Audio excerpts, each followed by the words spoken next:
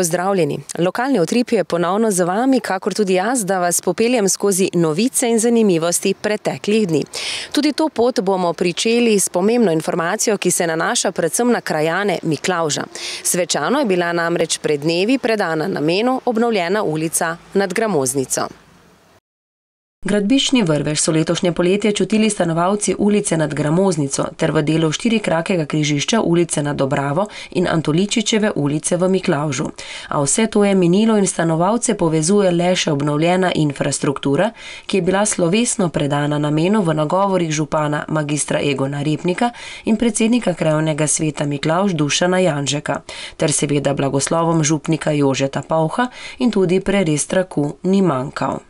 Ta ulica je nek lep zaključek, če tako rečem, tega štiriletnega mandatnega obdobja, v katerem smo sistematično se lotevali urejanja komunalne infrastrukture v kraju Miklauž.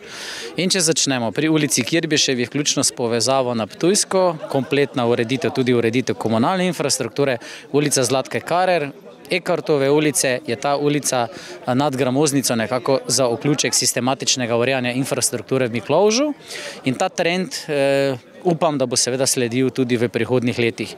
Infrastruktura v naši občini, vključno z krajem Miklauž, je dobra, odlična, tam seveda, kjer je obnovljena, je pa žal še nekaj ulic, katerih se še bo treba lotiti, predvsem na območju pri tako imenovanem klasiku, in verjamem, da bo tudi v prihodnjih letih se našel denar in dobra volja, da uredimo tudi te. Urejanje komunalne infrastrukture v tem mandatnem obdobju cirka milijon pa pol evrov smo uporabili za to in ni ga lepšega kot ta sončen dan, da smo otvorili ulico nad Gramoznico, za katero je bil tisti taki zaničljiv vzdevek, da je to pajkova mreža. Obnovljeni komunalni vodi urejeno cestišče in čeprav ozek koridor ceste, ima zaradi varnosti pešcev in kolesarjev tudi označeno varno območje. Sama ulica je vsekakor bila potrebna prenove, klicala je tudi po raznoraznih posegih dodelave telekomunikacij, električne napeljave, plinovoda in tako naprej.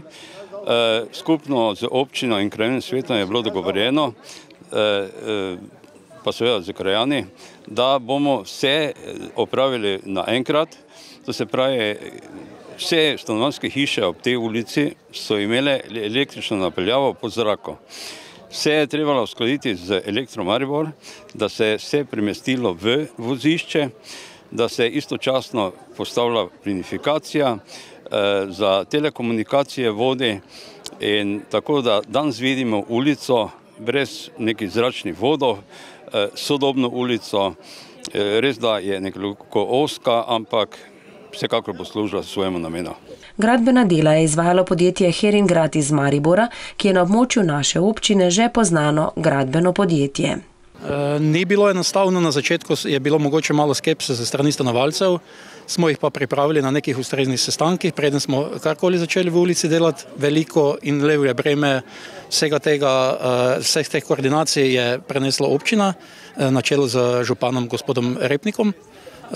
Zadeve so, ko so se zadeve ustalile, so zadeve šle tekoče naprej, ni bilo večjih zastojev, ne večjih problemov, sodelovanje na koncu projekta je bilo izredno, kar tudi sklepamo iz ustnih pričanj, pričevanj stanovalcev, da so zadovoljni in da jim je zadeva narejena tako, kot si želijo, razen manjše kritike, ampak tudi to, kar se tiče telekomunikacijskega operaterja, ki je bil danes omenjen tukaj, se bo uredilo v nekem izglednem času, ker smo tudi namreč dobili naročilo, da se zadeve v gradbenem smislu pripravijo v to smer, da lahko oni začnejo prevezovati hišne priključke na, na novo omrežje.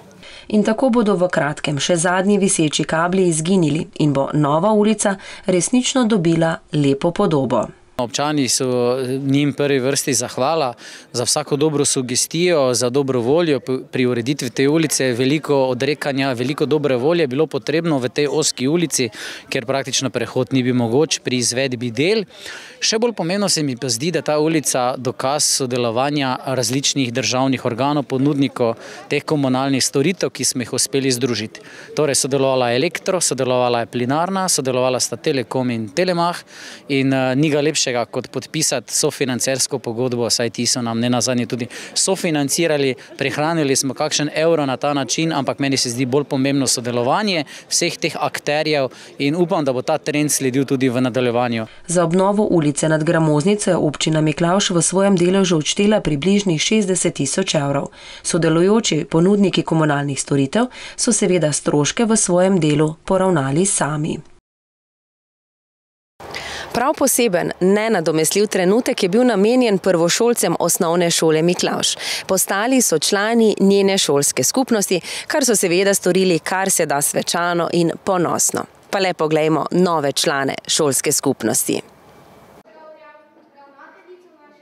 Letošnji prvošolčki so po slovesnem prvem šolskem dnevu že do dobra spoznali utrip za šolskimi zidovi, a pred dnevi so bili deležni še enega svečanega trenutka. Ob tednu otroka so postali člani velike šolske skupnosti.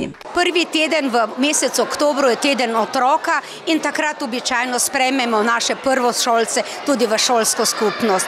Tako kot je bilo danes slovesno, že dve leti ni bilo. Se nam je COVID to krojil, delali smo po razredih, danes pa smo lahko skupaj z starši, starimi starši, s krajani preprosto uživali.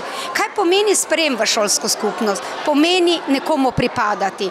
Otrok v prvem razredu prevzeme eno pomembno vlogo, to je vlogo sošolca, vlogo učenca in s tem tudi del odgovornosti do družbe.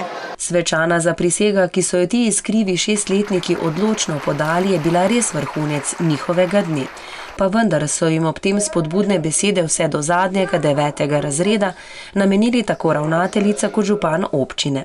Učenci starejših razredov so se prav tako potrudili in na široko sprejeli prvošolce v svoje vrste. Kot pika na i pa ni manjkala nabrita in poskočna, skratka prav posebna komedijantka. Jaz mislim, da cela prireditev, da ko smo povabili ponovno v naše vrste, torej v šolo diplomirano kloneso gospod Maver, da je to toliko prisrčnosti, toliko kulture, da enostavno smo se vsi prevelevili v ot, o, navadne otroke, otroci so pa preprosto uživali. In prav klonesa jim naj ostaja in naj jih spremlja na vsakem koraku življenja. Za Miklavške, Dobrovške, Skokoške in Dravsko-dvorske otroke se je prav posebej lepo učiti našedila in nase nadela najlepša oblačila, pa še kopico šolskih rekvizitov seboj prinesla. Meni je ime Higenija Svrčkljana in nisem prav zelo skrivnostna. Se nič ne skrivam, lahko me povabite, še kdaj. Kakšna je tvoja šolska ura klonesa? Danes si pokazala, da je drugačna od takšnih, kot jih imajo naši otroci. Res je. Moje šolske ure so različne. Mi se učimo uro baleta s higieno, Potem imamo zelo nevarno šolsko uro, ki je povezana z devetimi razredi osnovne šole, ko hodiš po vrvi, kot da bi to je zelo pametno. Ti si tako v osnovni šoli, kot da bi hodil po vrvi. Ne? In spodaj te lovijo starši in učitelji. Če slučajno padeš, lahko je varno. Če pa ti gre zelo dobro, pa tako malo primejo za vrh, pa tako malo porukajo. To je to druga šolska ura, pa smo imeli pa še glasbo, pa pol imamo še pomivanje krožnikov, ampak to pa danes nismo še jemali. Pa še, pa zgodovino imamo, ampak to tudi nismo danes jemali. Ampak ja, jaz imam veliko vsega za naučiti, tako da. Danes so se otroci resnično ob tebi zelo dobro počutili in tudi dosti naučili. Se mi zdi, da boš imela kar gužvo, bodo raje kar k tebi prihajali kot našim učiteljicam v prvem razredu. Ne, ma, učiteljice so super, ma so se zrihtale, ma so pametne, ma one vse vejo in one se tudi z vsakim otrokom res ukvarjajo in so zelo prijazne, ker jaz nisem prvič na tej šoli in sem že videla učiteljice prvega razreda in so zelo prijazne. Vedoželjno in s široko razprtimi očmi zrejo v prihodnost učenje učenci prvega A, prvega B in prvega C oddelka osnovne šole Miklauš s podružnico Dobrovce. Na vseh, ki smo del tega okolja, pa je, da ta iskrica do zadnjega dne devetega razreda ne izgine. Se veste, da šola ni samo tako prijetno, da je to stresogena eh, cona. Želimo pa vsakemu učencu približati, da ima močna področja, da se izpopolnjuje tam, kjer je in da ko je kaj težje, pa tudi to gre, v glavnem, da človek v srcu nosi veliki č, to je človek. In ta veliki č se torej potrudimo nositi v srcu vsi. Starši, učitelji in potem ga bodo zagotovo tudi otroci. Mesec oktober je tudi mesec požarne varnosti in je čas, ko številna gasilska društva pripravljajo dodatne aktivnosti in zanimivosti. Miklauški prostovoljni gasilci tako že vrsto let pripravljajo memorialno gasilsko tekmovanje mladih. Športni park Miklauš je v začetku oktobra preplavila množica uniform, pa ne tistih nogometnih, pač pa gasilskih.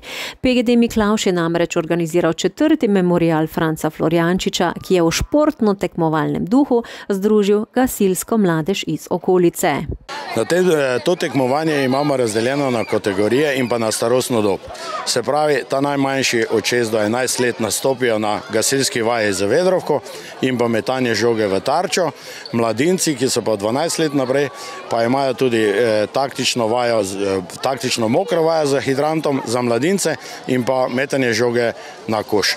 To leto je bilo prijavljenih 24 ekip, 23 iz Gasilske zveze Maribor, eno pa iz pobratenega društva Radeče. Skupno se je tako pri nas mudilo več kot 300 otrok in njihovih spremljevalcev.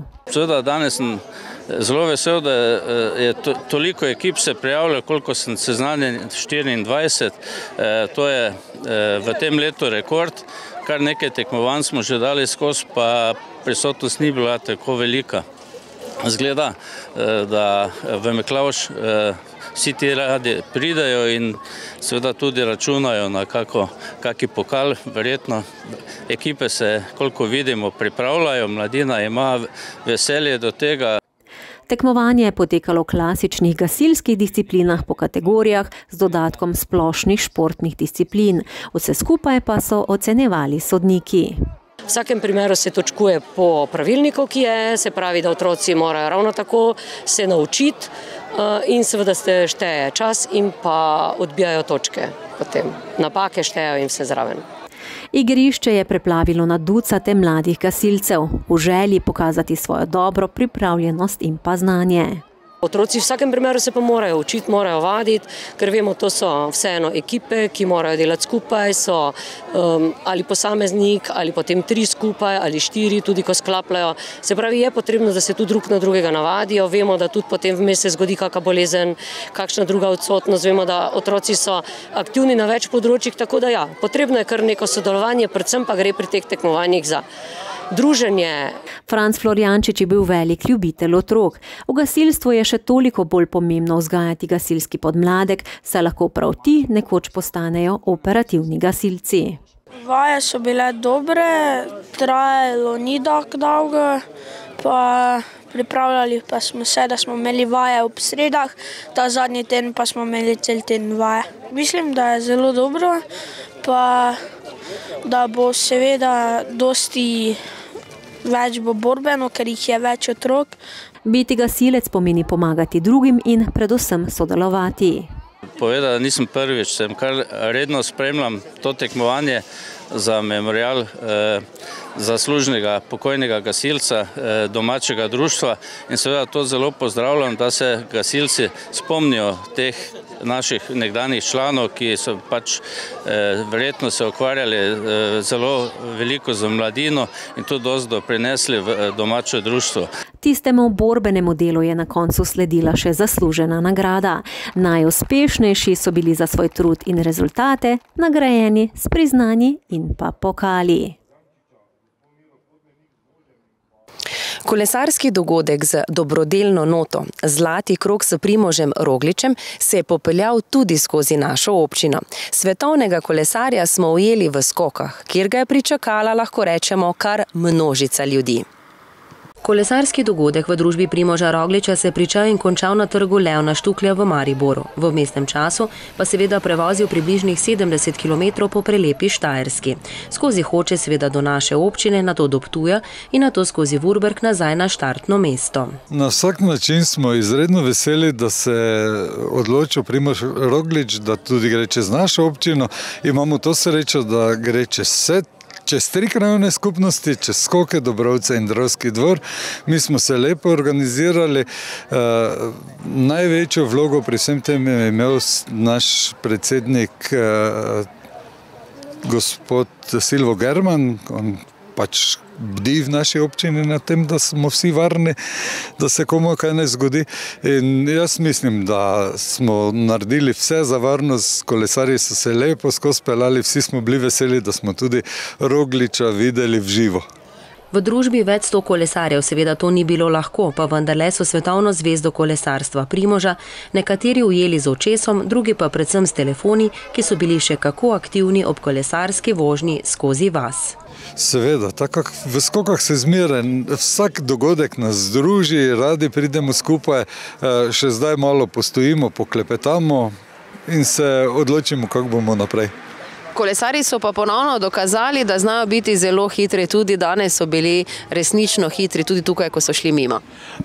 Izredno hitri so, mi bi bili bolj veseli, če bi se malo ustavili. ja, koliko sem dobil informacijo, niso sicer pelali na polno, nekje med 23 in 25 km je bilo dogovorjeno, da bojo kolesarili.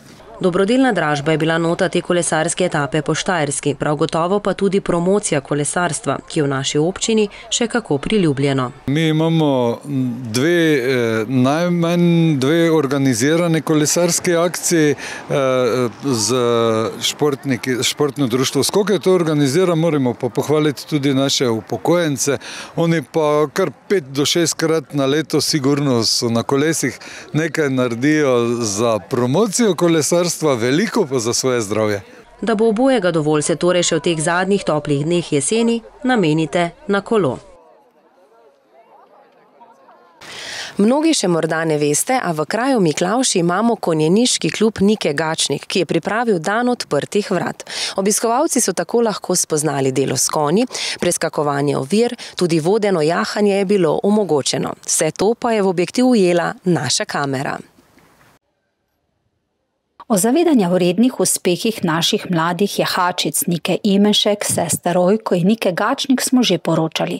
Očitno konjeništvo postaja popularna oblika preživljanja prostega časa, zato je pohvale vredno odločitev družine Gačnik, da na obrobju Miklauža postavi svoj konjeniški klub. Konjeništvo je kar neki uh, šport, ki je zaznamoval našo občino, po kateri smo postajamo tudi znani ampak eh, Nika je šla še korak naprej. Vidimo, da nastaja tudi konjeniški center tukaj v Miklovžu in upam, da bo to pripomoglo še k večjim uspehom tega športa. Nika Gačnik je kljub svoji mladosti s svojimi konji v disciplini preskakovanja ovir mednarodno priznano ime. Uh, imam veliko dobrih rezultatov, sem bila trikrat jahač leta, državna podprvakinja, pokalna prvakinja, tudi na mednarodnem turnirju sem zmagala, Eh, tako da upamo, da se bo uspehi nadaljevali. Da bi lažje usklajevali delo, šolo, družinske obveznosti in nikino strast do konjev, so se odločili postaviti svoj lastni konjeniški klub.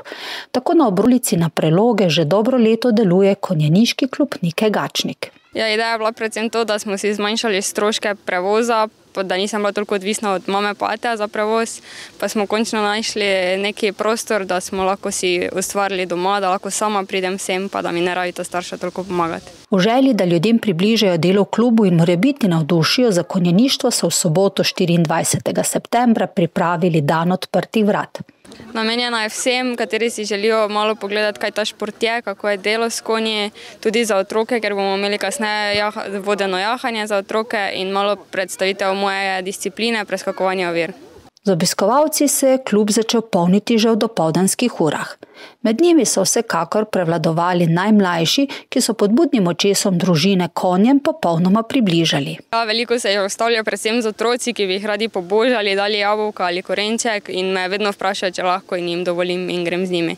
Jaz vedno pravim, da to, kar boš ti dal konju, bo konj dal tebi nazaj. Torej, če boš ti se lepo obnašal do njega, ga dosti pohvalil, tudi če kaj narobe naredi, bo ti on to pol vračal. Če boš pa ti grdo ravnal z njim, bo ti pa še to še grše vrnil. Da je celoten prostor, ki skupaj s pašniki, manežo, hlevi in objektom za skrb in njego kon meri dobre tri hektarje, postal funkcionalen v tako kratkem času, gre v veliki meri zahvala številnim posameznikom, društvom, občini, predvsem pa mrljivim rokam družine.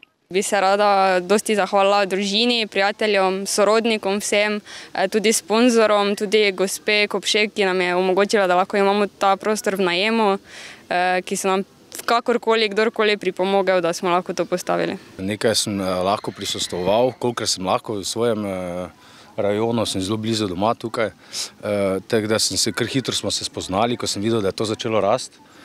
Tako da je, da je dobra roka zraven prišla, to ni bilo težko, ker so vsi sodelovali tukaj okrog. Zanimivo je, da je v bistvu ta njihova ideja zelo hitro zrasla. In to se pravi, da je bila ne samo moč v fizična moč, ampak tudi verjetno mentalna moč, da so uspeli to realizirati v kratkem času. Za popestritev dogajanja je Nika prikazala preskakovanje ovir, obiskovalci so se lahko preskusili v jahanju, na voljo so bila otroška igrala, vmes pa so si malico privoščili prav vsi. Športno zaznamovane pa bodo tudi naslednje minute. Podali smo se namreč v družbo Miklavških nogometašev in preverili, kakšne so ambicije tako v članski ekipi letošnje sezone, pa seveda tudi na preostale selekcije nismo pozabili. Predsednik nogometnega kluba Miklavš nam je za začetek predstavil vse selekcije, ki delujejo v klubu pod okriljem kvalitetnih trenerjev. Ja, naša nogometna šola ima vse selekcije od U7 do U19. Dobro delamo z vsemi selekcijami in tudi rezultati so temu primerni. Cilji vseh selekcij so dodeljeni že pred samim začetkom sezone. Tako je jasno, da imajo v klubu vizijo, kako se lotiti samega dela in treningov vsake selekcije posebej. V mlajših selekcijah ni prioriteta v samih rezultatih, v tekmovalnih selekcijah od U15 naprej pa si želimo tekmovanja na nivoju Nogometne zveze Slovenije. V letošnjem letu igramo na nivoju Medobčinske zveze Maribor z ciljem, da se uvrstimo v tekmovanje Nogometne zveze Slovenije. Kar se pa tiče članske selekcije, pa je letos prišlo do velikih kadrovskih sprememb. Predvsem gre za igralce iz lastne nogometne šole, ki so še v lanskem letu nastopali v mladinski selekciji. V klubu uh, si želimo, da je jedro naše članske ekipe izvira iz naše nogometne šole. V tem letu je pač situacija prinesla do tega, da smo na tak način tudi sestavili ekipo, mlado ekipo uh, in uh, upamo, da bo to, da je premalo izkušen v ekipi, ne bo bistveno vplivalo na končni rezultat. Trener članske selekcije Miklaških Šmrljev je po novem bolečem porazu proti Marjeti z nič proti tri jasno izrazil svoje mnenje o celotni situaciji, zakaj njegovi fantje trenutno enostavno ne morejo redno nabirati točk. Se pravi, ta mlada ekipa, neizkušena ekipa, polno, polno, polno problemov tako v takšnem smislu, kot tudi v fizičnem smislu. Dejansko ja, imamo res velike probleme, zdaj so glava še vroča, težko je zdaj nekaj ocenjevati, ampak dejstvo, da tak naprej ne gre več. Ne. To, mislim, da se je mogla tu spremeniti za 100% nekaterih igralcev, ker enostavno s takim načinom igranja mi, mi, mi ne moremo nekih točk dobivati, moramo marsikaj spremeniti posebno to našo agresijo, malo več te discipline taktične, pa bi se mogoče dal lahko zgodila, da bi kaj, da bi kaj prišli do točne. Dejstvo pa je, da ta ekipa rabi tri, tri, tri starejše igrače skušene, ker smo premladi in pač nimamo nekaj še nekaj vodje ekipe, ki bi lahko to ponesla. Tako da so problemi velike. Za konec smo se dotaknili ciljev, ki jih imajo za člansko ekipo, ki je letos seveda obstanek med prvoligaško konkurenco. Zavedajo pa se, da bo to težko dosegljivo, če enostavno ne začnejo igrati bolje. Sedaj smo pač to zbrali, to, te mlade fante, ampak dejstvo je, da se vidi, da, da težko lahko pariramo, oziroma da, da smo lahko tekmovalni v tej sezoni v, v, v tej ligi in bo pač treba nekaj narediti v tem smislu. Kam bo vse skupaj na koncu pripeljalo Miklaš, bomo videli. A jasno je, da bodo v klubu še naprej trdo delali za dosego svojih zastavljenih ciljev. V nogometnem klubu Miklaš so skozi svojo zgodovino že dokazali, da znajo pravilno ravnati in trdo delati z mladimi nogometaši, ki se čez čas spremenijo v vrhunske športnike. Članska zasvedba pa se je že večkrat znašla v težkem položaju, a vedno znova odreagirala pravilno in se vrnila še močnejša. Ročnodelske sekcije znotraj Zgornje Podravske pokrajinske zveze društev upokojencev Maribor so pripravile razstavo ročnih del, katere čas razstavljanja pa je pripadala dobroškim upokojencem. Ob otvoritvi razstave društev znotraj Mariborske zveze so se v programu potrudili domači osnovnošolci in njihove učiteljice, dobrodošlico obiskovalcem od blizu in daleč pa namenili župan, predsednik rajnega sveta in društvo upokojencev. Pa tudi Marjanova harmonika je pridala svoj del. Razstavljena ročna dela so ponovno pokazala, kaj vse zmore človeški um in spretni prsti predstavnic nežnejšega spola tudi v tretjem starostnem obdobju. Mi smo Podravska zveza zgornjo podravje za sedež v Mariboru, povezujemo pa 64 društev upokojencev in to je vse od meje z Avstrijo do zadnjo društva Elaporje, tudi kompletno slovensko-bistriški bazen, tako da me veseli, da je danes tukaj od teh 64 društev, kar 20 društev se odzvalo na, ta, na to razstavo, kar moram reči, da je zadovoljiva ocena.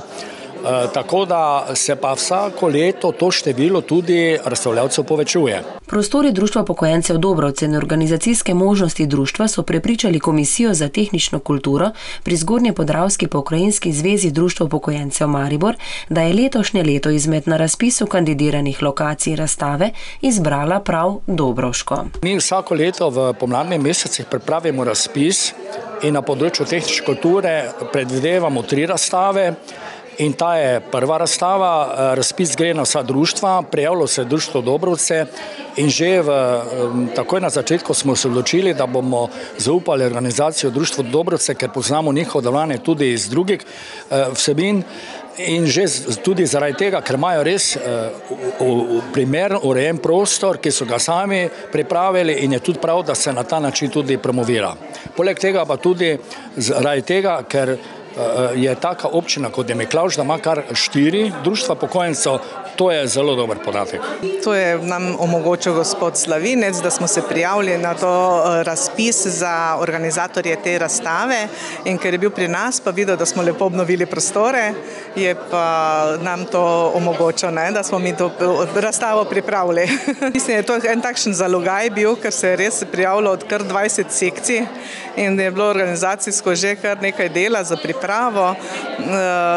ampak vsaj z voljo gre vse, ne in z veseljem do tega dela. Tako da smo se kar poskusili potruditi, koliko nam je uspelo, pa ne vem, upam, da je v redu.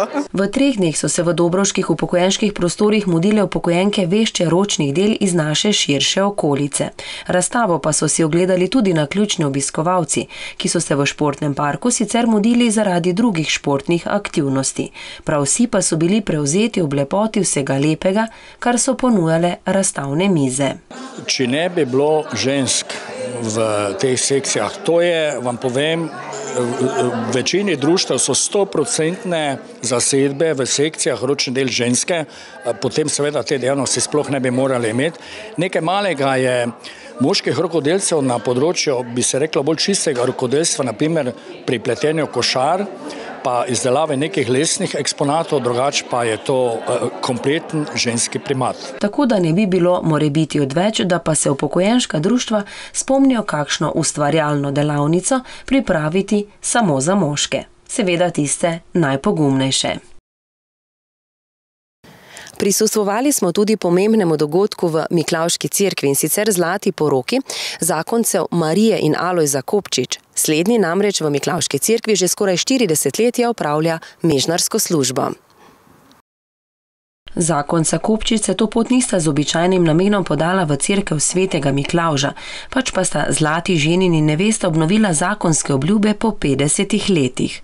Zakrament zakona v drugo je podal kaplan Sebastijan, cerkveni pevci so samo obred dodatno obogatili, jubilanta pa je v imenu občine Miklavž nagovoril Srečko Čuček.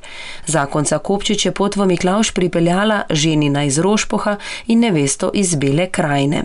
Alojz pa se že polnih osemintrideset let vestno razdaja kot mežnar v Miklavški cerkvi. Jaz sem Bogu hvaležna, da sem čakala z mojim možem petdeseto obletnico poroke. Hvala, hvala Bogu. Ja, celo življenje smo želela, ker smo dočakala, da bi praznovala to zlato poroko petdesetletnico, ker smo si želela zato, ker sva v najinem življenju, skupnem, dosti ustvarila pa dosti naredila, pa tudi imava sina pa hčerko z z družino, ki so mladi, ki nas podpirajo, nas imajo radi, vsi se imamo preveč radi. Res sem vesel pa srečen. Kje pa ste se dejansko poročili pred 50 leti? Gotovo je bilo takrat bistveno drugače kot danes. Poročila smo se 7.10.1972 v spodnji Kungote, crkva se pa imenuje pri sveti Kunigundi nekako ste prav vi tudi, bi lahko rekli, posvetili dobršen del svojega življenja, dobršen del svojega časa. Prav v Miklavški cerkvi tukaj vestno, odgovorno upravljate mežnarsko delo, kar bi rekli, da je vsekakor vredno vseh pohval. Gotovo vam pa to ni težko in počnete z veseljem. Jaz bom povedal tako. E, tole mojo službo v cerkvi Svetem Miklaužu na Dravskem polju e, sem sprejel, tako so me tudi izvolili. In sem sprejel in e, z veseljem upravljam, z užitkom. Lepo mi je, res mi je lepo. Ljudje nas poznajo, me osebno poznajo iz trgovine, iz gostilne, se ne važno odkot, iz vasi, ampak samo rečejo, dobro dan, ali iz kak si, si vredo, še boš delal naprej. Sem rekel, bom, dokler bom zdrav, pa že bom še vedno delal in naj le to spremlja zlato poročenca še mnogo let, so bile izrečene želje svatov ob obnovitvi za obljub, katerim se pridružuje tudi naše uredništvo. Tudi oddaja večerni pomenek v teh dneh ni počivala, saj je gostila zanimivo gostjo. Gostjo, ki dobršen del svojega življenja namenja telesni vadbi, pravilni drži in tudi Miklavški šoli zdravja. To je Nataša Sinovec, pa smuknimo v ta pogovor. Nekako bi lahko rekli, da ste človek številnih znanj, izkušenj, pa vendarle je zdravje in skrb za njega tisto, kar vas pa nekako spremlja skozi celotno življenje. Že tista nekako otroška želja postati zdravnica. Ja, pa res bo držalo. Spomnim se, šest let sem bila stara, en tak družinski dogodek se je zgodil in takrat sem se jaz odločila, jaz bom pa zdravnica. Potem se sicer ni šlo, ne, ni šlo po teh načrtih, me je pot zapeljala čisto drugam. Eh, sem obiskovala srednjo tekstilno šolo, pa potem zaključila fakulteto v Mariboru, eh, tudi iz tekstila, ampak potem pa me je zaneslo spet drugam. Pač življenje piše svojo zgodbo, jaz pa sem jo pač šla z njo. Nekako ste šli torej v korak z tem, kar vam je življenje ponujalo, vendar lepa je tisto izobraževanje oziroma želja po nekem določenem dodatnem znanju, prav na področju zdravja, bila vendarle tista, ki vas je vedno usmerjala. Nekako ste torej tudi že v pomoč vašemu partnerju bili na področju delno že zdravstvenem. Točno to, takrat dejansko se je v meni nekako začelo prebujati to um, obravnavanje zdravja celostno. Namreč takrat smo um, tudi ponujali veliko izobraževalnih vsebin in takrat sem se jaz srečala s to povezavo ustnega zdravja s celotnim zdravjem in mene je fasciniralo, na kaj vse lahko slabo ustno zdravje v našem telesu oziroma splošnem zdravju, celotnem zdravju, na kaj lahko vse vpliva. Ne? Od te povezave uh, s sladkorno boleznijo, srčno-žilne bolezni, uh, prezgoden porod recimo. Uh, To so vse take stvari, za katere sem dejansko prej nisem slišala in se potem s tem seznanila. In tisto mi je tudi dalo en tak pogled ne, neke te širine, torej da je vse v našem telesu povezano. Moram priznati, da prej se nisem kaj dosto ukvarjala s tem, bolj sem se ukvarjala s časom, kako ga čim boljše izkoristiti, uporabiti. Ampak um, ja, to pa je bilo tisto področje, ki me je potem zapeljalo in dejansko sem potem iz tega, iz te povezave um, ustnega zdravja s celostnim zdravjem, zaradi lastnih težav uh, s hrbtenico in s, s bolečinami v hrbtenici uh, naletela na univerzo Egoskiju v Ameriki, so pa, kjer so pa izobraževali, na kakšen način je naša telesna drža povezana s kroničnimi bolečinami v mišicah in sklepih. Tako da potem zopet, smo, zopet je to peljalo na neko celostno uh, gledanje na naše zdravje in dobro počutje. Vabljeni torej k ogledu daje večerni pomenek v družbi gostje Nataše Sinovec v četrtek ob 20. uri. Jaz pa se to pot od vas poslavljam in vam želim kar se da pisano in prijetno jesen, ki pa naj traja vse do takrat, ko se ponovno snidemo. Srečno!